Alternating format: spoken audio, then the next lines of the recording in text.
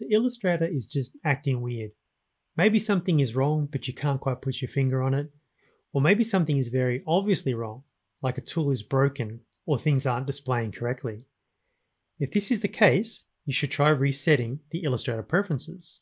So let's close Illustrator.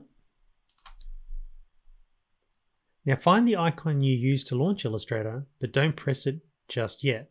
So here it is here inside of my dock.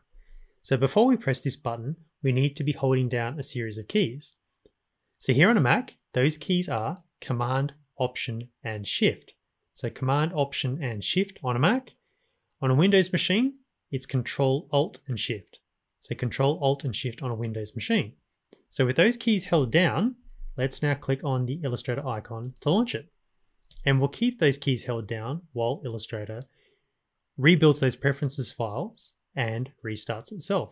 So we'll just give it a second and here we go. Illustrator has now relaunched, having rebuilt the preferences files, and hopefully it solved our problems.